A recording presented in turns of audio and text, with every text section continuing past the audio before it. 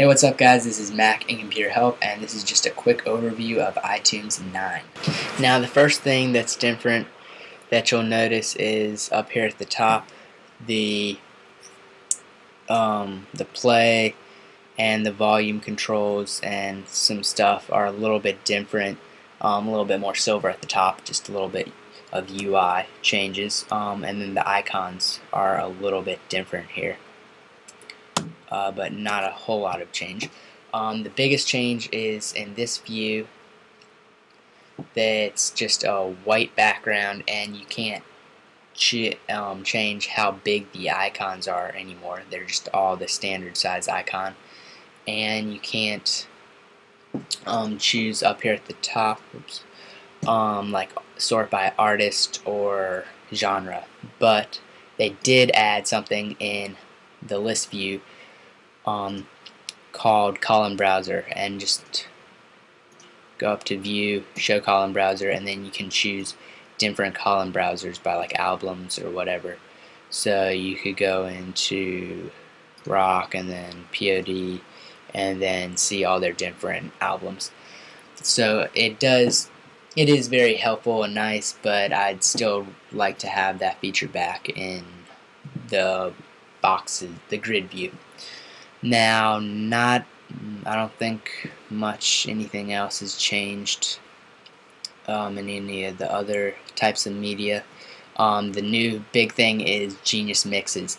Before in iTunes 8 they had they added Genius as you probably know and now they added Genius Mixes which it just creates like radio stations for all your music so it's like one big giant playlist of rock or um, hip hop and then you just hit play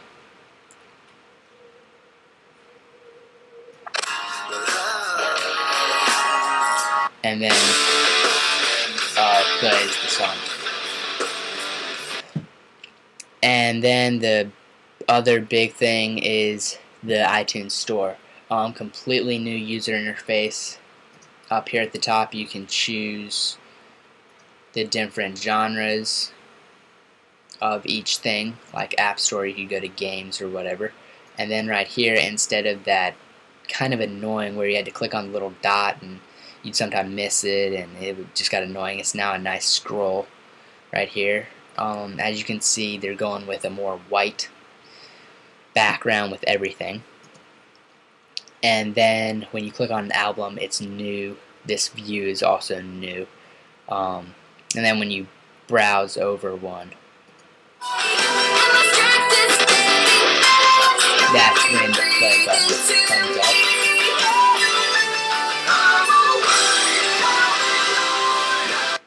Great song there, guys. You should check it out if you haven't already. Um, then another feature is that, like over here, you can buy it right there. So a lot of um, mouse over effects, and that's pretty much um, most of it. There's one feature um, with your iPod or iPhone that you can organize the apps, but I'm going to do another video on that. But that's it for now.